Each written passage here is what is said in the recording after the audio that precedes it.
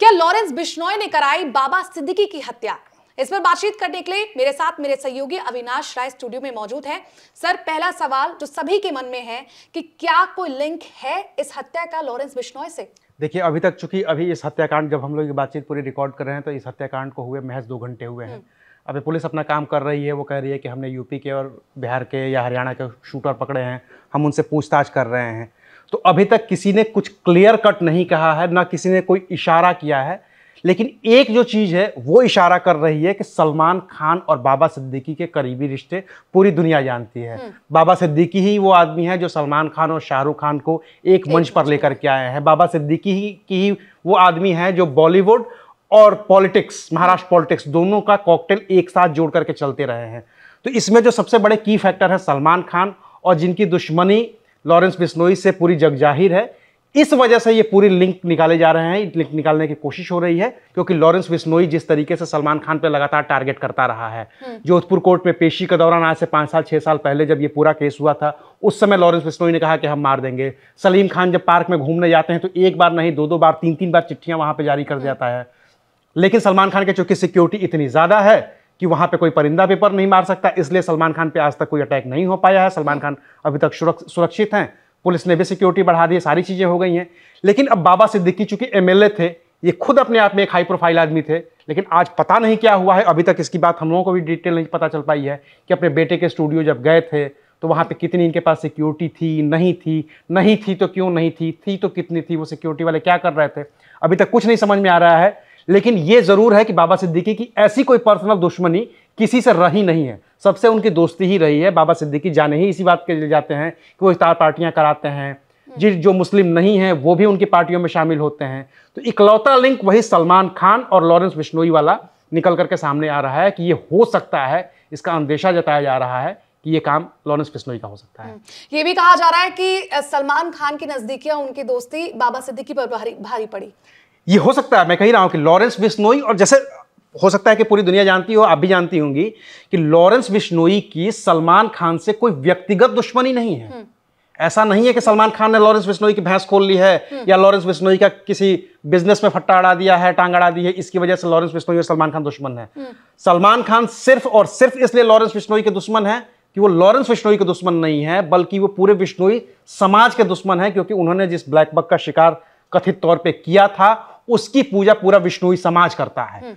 और जो राजस्थान और हरियाणा का पूरा इलाका है जो बॉर्डर वाला इलाका है जहाँ पर विष्णुई समाज प्रमुखता से है उसमें लॉरेंस बिश्नोई को एक नेता के तौर पे देखा जाता है उसमें लॉरेंस बिश्नोई को उनके मसीहा के तौर पे देखा जाता है कि उसके पास हथियार है उसके पास इंटरनेशनल कनेक्शन है उसके पास गोल्डी बराड़ जैसा आदमी है जो कनाडा में बैठा हुआ है हम्म। तो ये सारे लिंक उसके पास हैं और वही है जो सलमान खान को मार सकता है क्योंकि सलमान खान ने ब्लैक बक की हत्या की थी। सलमान खान सजा याफ्ता है उनको सजा हो चुकी है फिर भी जिस दिन सजा होती है उसके अगले ही दिन या उसी दिन बल्कि कहिए दो घंटे के अंदर ही उनको जमानत मिल जाती है। तो पूरे विश्नोई समाज इस बात से तो आहत हमेशा से रहा है कि सलमान खान ने ब्लैक बक की हत्या करने के बाद भी वो बरी हो गए हैं वो बाहर घूम रहे हैं और उसका बदला कोई ले सकता है तो वो सिर्फ़ और सिर्फ़ लॉरेंस बिश्नोई है। और हो सकता है कि अभी जो हुआ है उसमें बाबा सिद्दीकी उसका एक ज़रिया भर ज़रिया हो। जी। आ, एक और सवाल मेरा आपसे शुरुआत में आपने कहा कि दो घंटे हो चुके हैं अब तक किसी ने ज़िम्मेदारी नहीं ली ली है इस केस की। लेकिन इससे पहले भी जो वारदात लॉरेंस बिश्नोई की गैंग द्वारा की गई है कुछ ही मिनटों में हमें पता चल जाता है वो अपनी जिम्मेदारियाँ ले लेते हैं कि ये हमने करवाया है और इसकी वजह क्या है। लेकिन कोई अपडेट नहीं है क्या उस दो दो तीन चीज़ें हैं। हम्म। एक तो हम जितने भी मीडिया के लोग हैं हमारे जितने भी रिपोर्टर हैं हमारे जितने भी साथी हैं उस अस्पताल के बाहर हैं। हम्म। लॉरेंस बिस्नोई से किसी का कोई डायरेक्ट कनेक्शन इसलिए नहीं है क्योंकि वो जेल में है।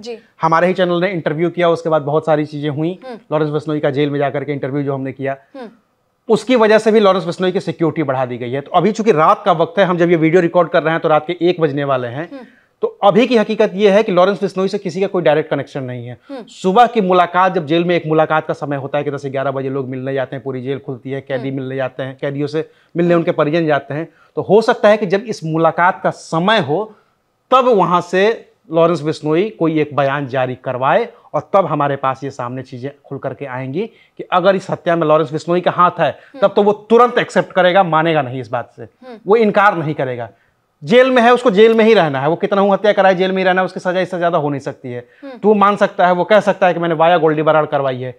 क्योंकि अब जैसे जैसे पूर्वांचल की पूरी गैंग खाली हुई है, पूर्वांचल में अब उतना बड़ा कोई माफिया नहीं रह गया है तो पूरे जो माफिया पे कब्जे की भी बात है ना, उसमें भी लॉरेंस बिश्नोई एक बड़ा फैक्टर निकल करके सामने आया है। चाहे वो राजस्थान की बात हो, चाहे वो हरियाणा की बात हो, चाहे वो पंजाब की बात हो, चाहे वो दिल्ली की बात हो, चाहे पूरे पश्चिमी उत्तर प्रदेश की बात हो, इस पूरे इलाके में अगर कोई एक माफिया सबसे बड़ा उभर करके सामने आया है तो वो लॉरेंस बिश्नोई है और लॉरेंस बिश्नोई अगर महाराष्ट्र में हत्या करवाता है तो फिर उसका प्रभाव ज़्यादा पड़ेगा।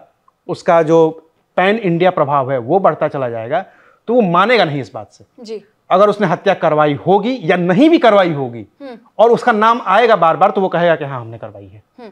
आखिरी सवाल मैं आपसे जानना चाहूँगी कि कोई कनेक्शन या कोई पैटर्न आप देख रहे हैं जिस तरह से सलमान खान के घर के बाहर फायरिंग की गई मोटरसाइकिल में बैठकर तीन लोग आए और बैक टू बैक फायरिंग की लेकिन फ़िलहाल जिस वक्त ये हुआ कोई मौजूद नहीं था घर के बाहर तो किसी को गोली नहीं लगी कोई भी आ, इसका टारगेट नहीं बना इस गैंग का।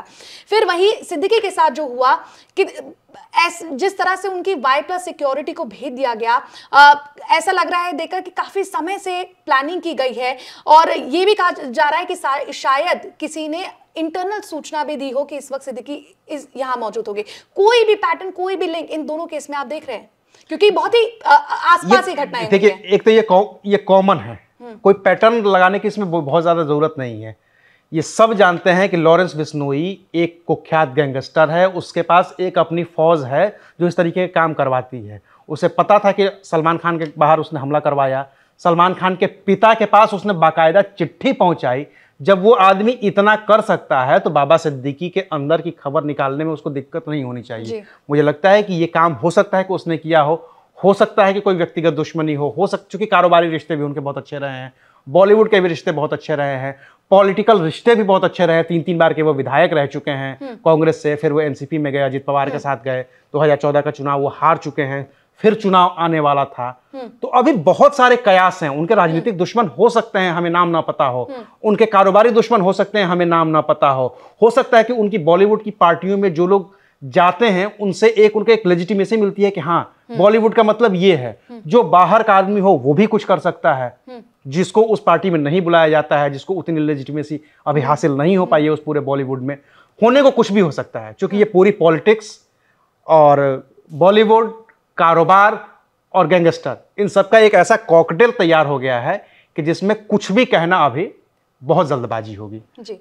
आ, मेरे साथ बातचीत करने के लिए आपका बहुत बहुत शुक्रिया। तमाम जानकारियाँ आपके द्वारा दर्शकों को दी गई जिसका सभी इंतज़ार कर रहे थे। और इसी से जुड़ी हुई तमाम खबरों के लिए देखते रहिए सिर्फ़ और सिर्फ़ ABP live For exclusive and insightful videos, subscribe to our new channel ABP Live Premium.